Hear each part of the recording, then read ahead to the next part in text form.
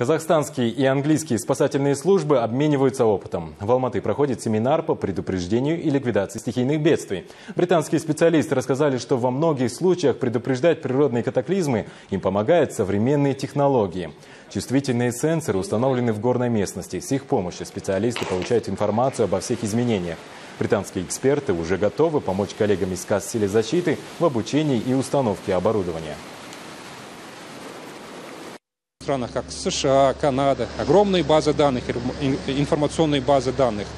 И они доступны всем людям, все могут информацию брать и использовать. И э, наша одна из задач сделать больше информации транспарентной, э, открытой для всех, чтобы те же исследователи могли информацию брать и не повторять, не делать ту же самую работу, кто уже сделал. У нас часто это э, делает, дублируется эта работа.